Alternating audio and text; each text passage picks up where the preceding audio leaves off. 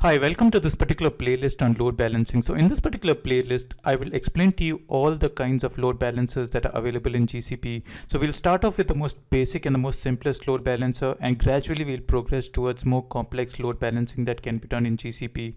So let's start off by creating a first load balancer. So what we'll do is we'll just create a storage bucket and within the storage bucket, we'll just store a few HTML pages. And the first example that I'll be showing you would be just creating a load balancer so that the backend points to those particular storage storage buckets that we've created. So let's go and check the backend that I've created. So let's go to cloud storage.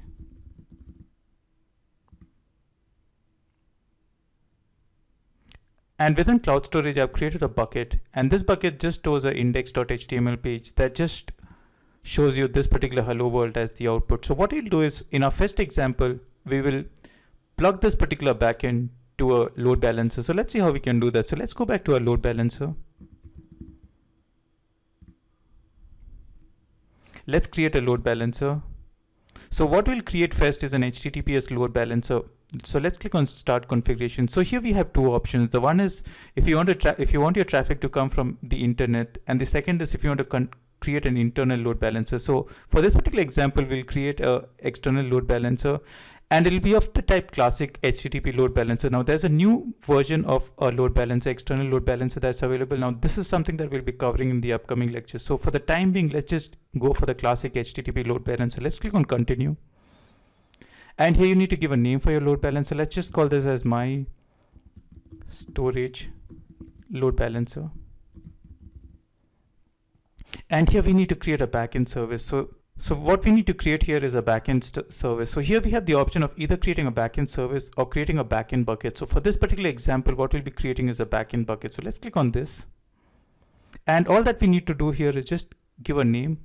Just call this as backend bucket. And here just we just need to point to that particular cloud storage bucket. So let's click on browse and let's choose that particular bucket. So let's click on select.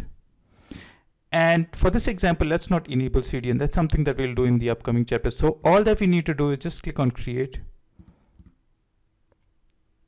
Let's go to our front end now.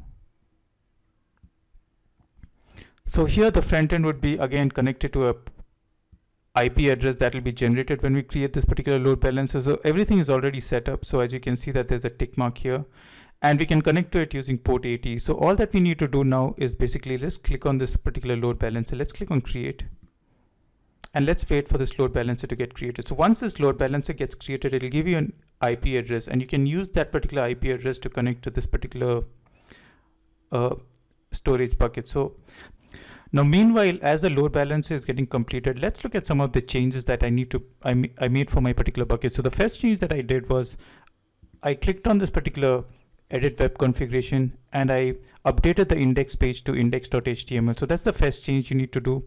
And the second change that you need to do for this particular bucket is you need to go to your permissions and make this particular bucket publicly available. So all that I have to do here is I just need to go to add, make all users as the principal. And here what I've done is I've just given it the object reader access so here you can see that that particular permission is given as well. Okay, so let's go back to our load balancer and let's see whether it's being been created. So if I open my load balancer, you can see that there's an IP address that gets created. So let's copy this IP address and let's paste it and you can see that this particular IP via the load balancer points to this particular bucket. So that's it for our first example. In our second example, what we'll do is we'll add a few paths to this particular load balancer and we'll also connect it to an IP, uh, a domain. So that's it for this one. I will see you in the next.